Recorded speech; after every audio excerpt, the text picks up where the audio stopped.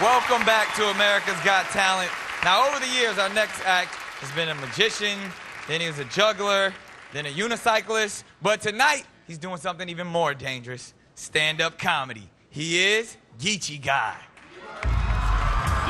What kind of jokes do you do? hopefully funny one. You might recognize me from my modeling career. I was the third one over on the evolution chart.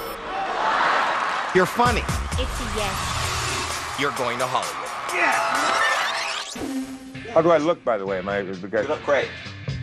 When I was young, I was pretty awkward. You know, people used to make fun of me a lot. I figured if I couldn't get them to stop laughing at me, I should get into comedy and start charging them. Hi, America! Geechy Guy is, with the possible exception of Howie Mandel, the most annoying person we've ever had on America's Got Talent. It's unfortunate that the judge of the biggest talent show in the world does not think I'm funny, but I can't really worry about it. This competition is really tough on comedians because in 90 seconds, you can't really establish your character. Geechy has an advantage in the sense that he's just got these short one-liners. This is nice. A comedian has never won. Maybe this is the year. Hope there's going to be more people.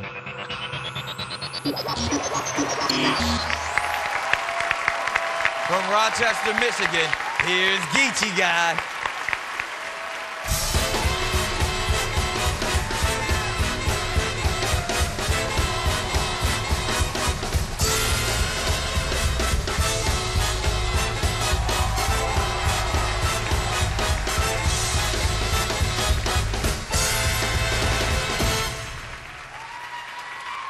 I saw a sign that said, don't even think about parking here. So I parked there without even thinking about it. I asked my wife if I could borrow some of her sleeping pills, and she said, sure. Knock yourself out. The other day, I found a golf ball the size of a hailstone. I went to a doctor. He told me I was schizophrenic. I said, you got the wrong guy. My eyes were bothering me, so I went to an optimist. He said, don't worry, you'll be fine. I would give my right arm to be ambidextrous.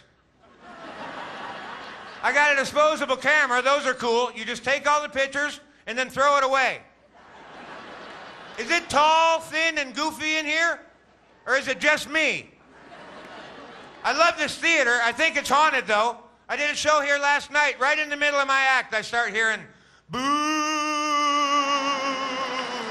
You suck!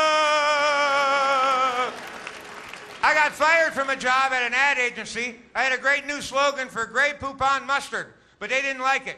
You have a guy holding a sandwich open like this, and then underneath it, it says, poop on me.